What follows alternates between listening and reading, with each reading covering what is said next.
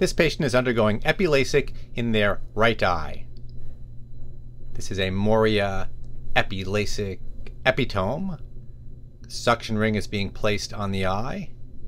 Firm pressure is applied before the suction is turned on. The machine will tell you when you've got good suction, and I ask the patient if the light is dimming out.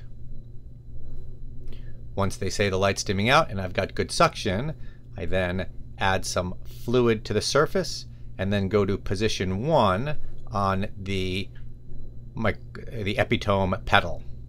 The position one is a rather slow position and we will see coming up on the right side of the screen the beginning of the epithelium coming up into the Epi-Tome right there.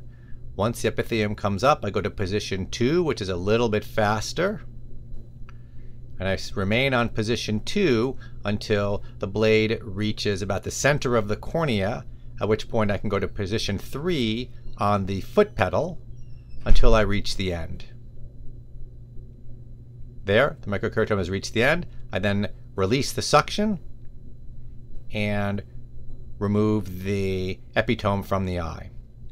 The epithelium sometimes remains in the Epi-Tome, but here the epithelium has remained on the cornea with a mild hinge nasally.